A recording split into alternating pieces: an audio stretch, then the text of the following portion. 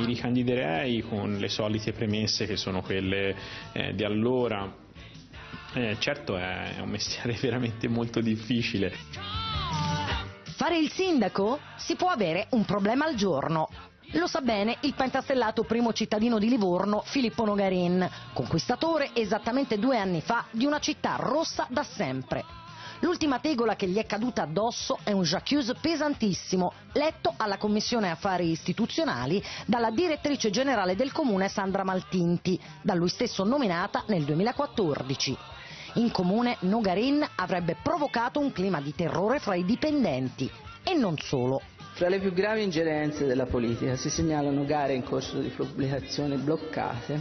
Le dichiarazioni della direttrice generale sono state pesanti, tant'è che i commissari mi hanno incaricato di depositare il tutto in procura. Nogarin ammette l'errore di valutazione fatto nel nominare la direttrice, licenziandola pensavo anche di trovare energia eh, in una persona che voleva in qualche modo, in qualche misura eh, darsi da fare per questa rivoluzione pacifica che eh, stiamo portando avanti. Abbiamo sollevato una contestazione dando 5 giorni di tempo per fare delle controdeduzioni e poi eh, si procederà nell'eventualità in cui queste non siano soddisfacenti a un licenziamento eh, per giusta causa.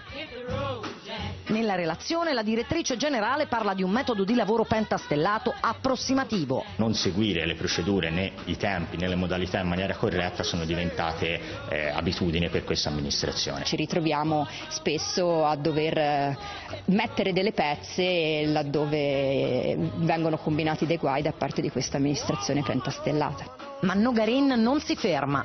Ride mentre passeggia nei corridoi del palazzo comunale.